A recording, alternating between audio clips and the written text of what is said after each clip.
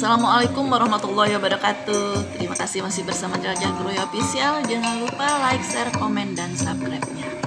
Kali ini kita masih berada di arena pentas kebudayaan yang diselenggarakan oleh Dewan Kesenian Kabupaten Pesisir Barat. Kali ini kita mau lihat tari